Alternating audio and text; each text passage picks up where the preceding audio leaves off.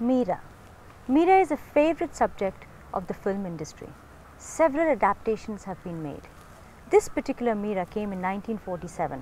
It was a remake of a Tamil film. के के साथ कृष्ण भगवान हैं ना वे मुझे देखकर हंसते थे माँ गोपाल से भला कहीं तेरा ब्याह हो सकता है मैं तो गोपाल से ब्याह करूंगी The speciality of this film is that M.S. Subbulakshmi, a beautifully melodious voice from the Carnatic world, has actually acted and sung all the songs for Meera.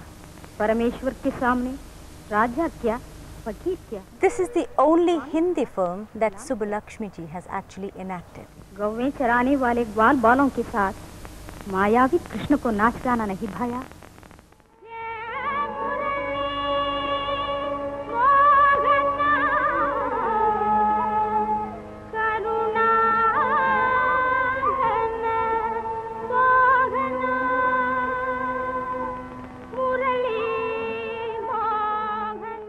Meera was shot at original locations related to Meera's life, like Dwarka, Mathura, Rajasthan, etc.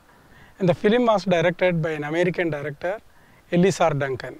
The legendary South Indian actor and later Phalke Award winner, Chittur V. Nagaiah, was the hero of the film. M.S. Subbulakshmi sang a duet with Nagaiah, Ghanashyam Aaya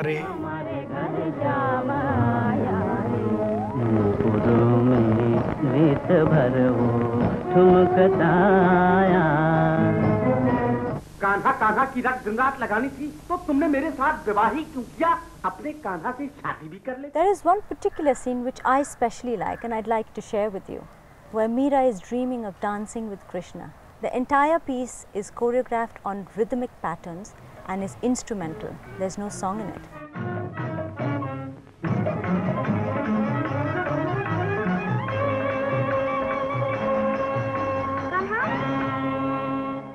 In this film, Sarojini Naidu, the national leader and the poet, has introduced Subbulakshmiji.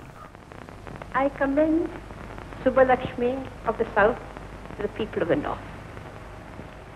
She is presenting the Hindi version of her Tamil film, Meera.